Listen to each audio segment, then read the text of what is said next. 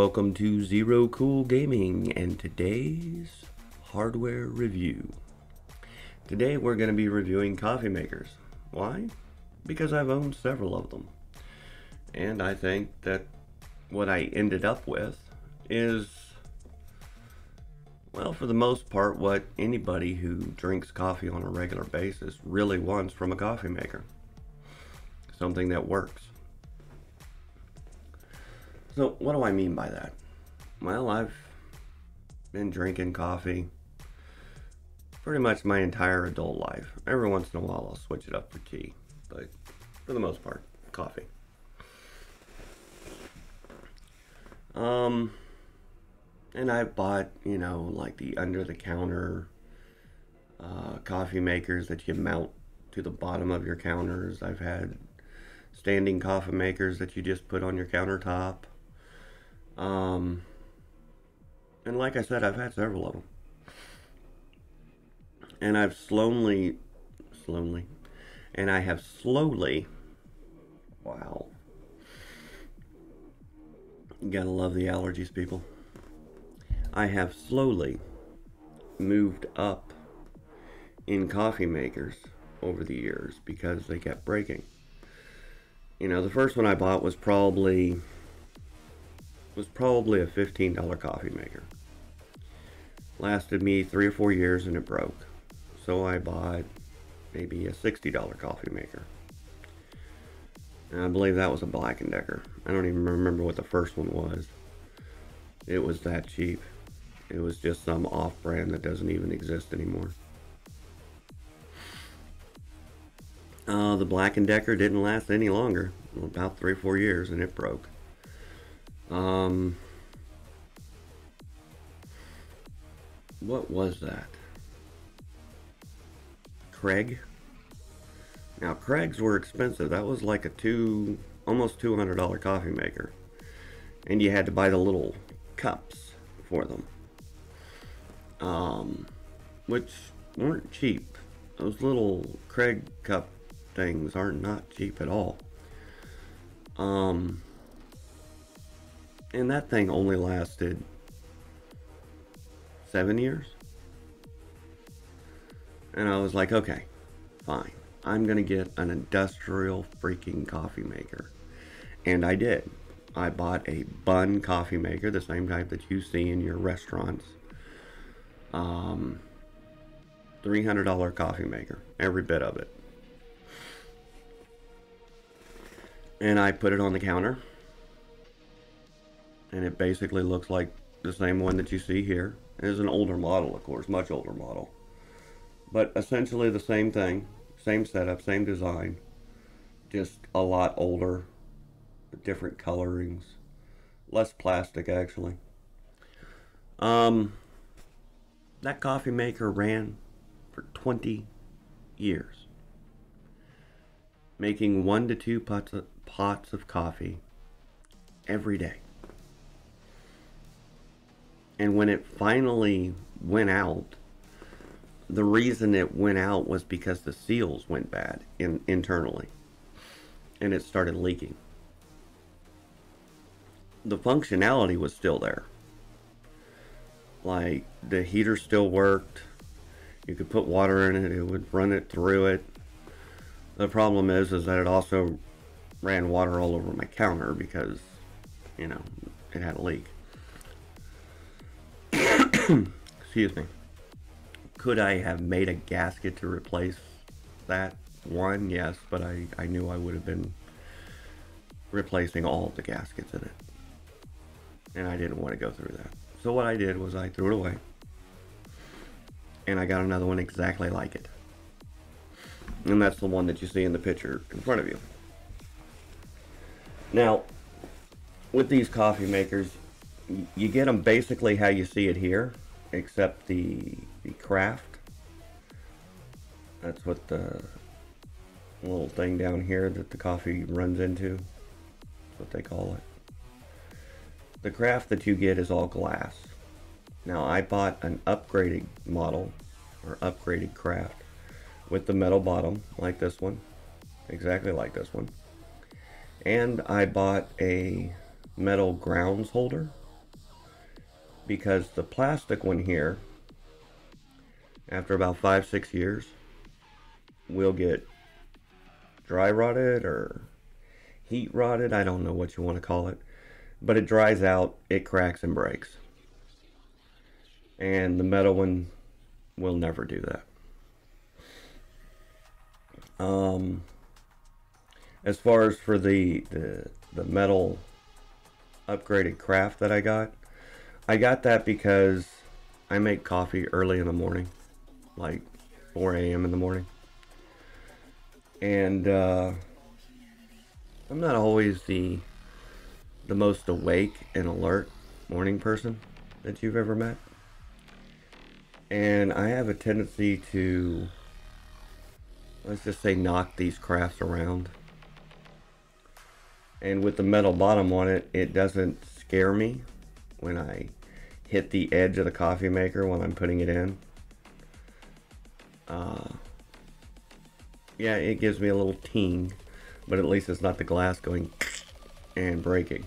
So that's why I got the upgrade.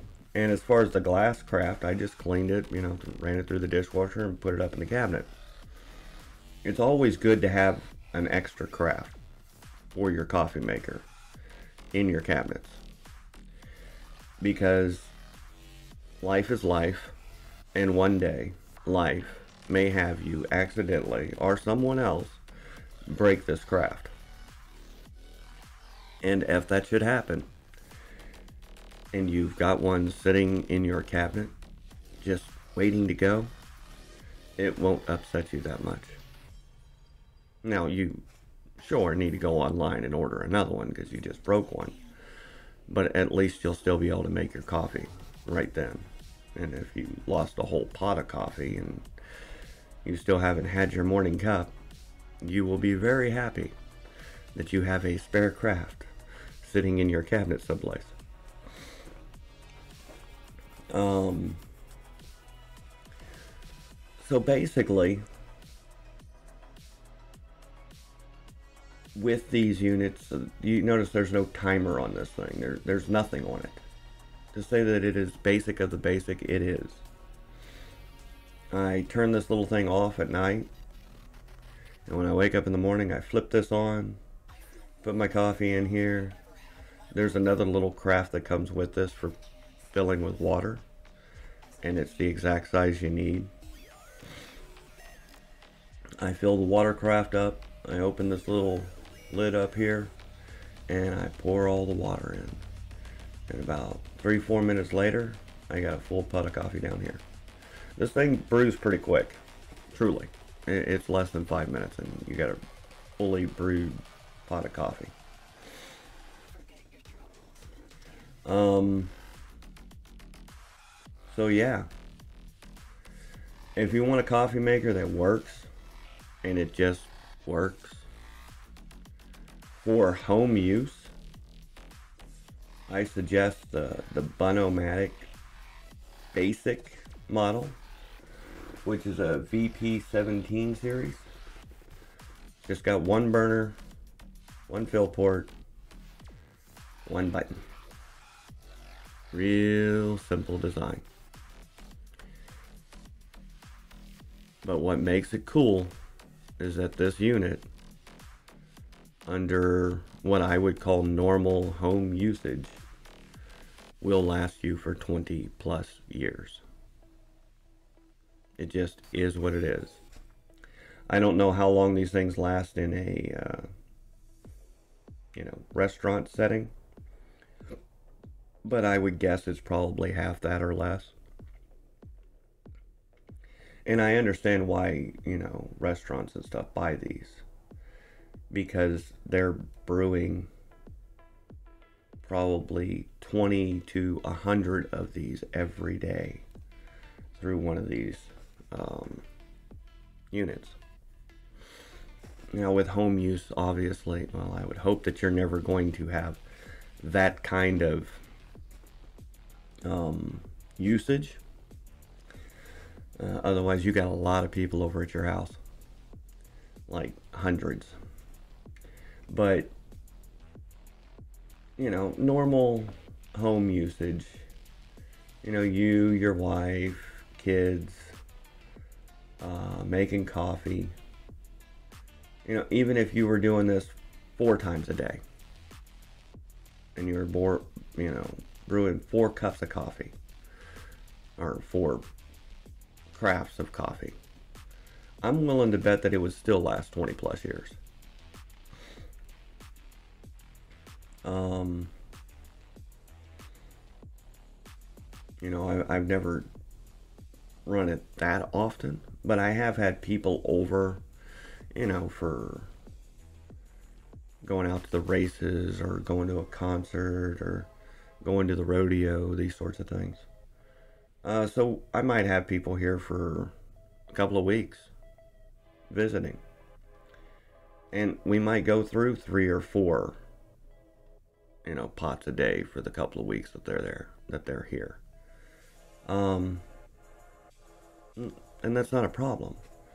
I mean that that was never an issue for it in that respect. It still lasted 20 plus years, even with that going on.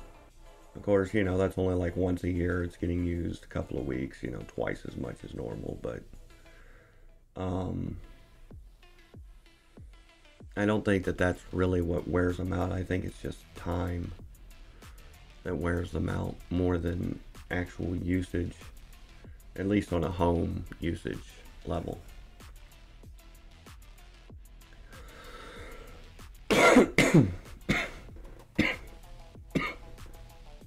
Excuse me.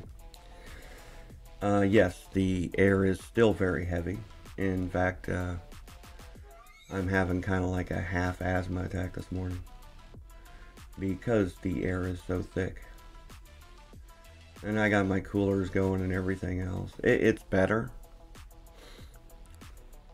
I mean, you can hear it in my voice, I'm sure. It's very nasally. Um, but that'll go away when the rain goes away. Uh, it's not raining right this second, but it probably will be raining sometime this morning. Anyway, the Bunn-O-Matic Industrial Series coffee maker is definitely my suggestion for anybody who drinks coffee on a regular basis. If you want a coffee maker that just works and will continue to just work for 20 plus years, this would be my suggestion to you. Well, that's my rant for the day, and I hope you enjoy the rest of yours.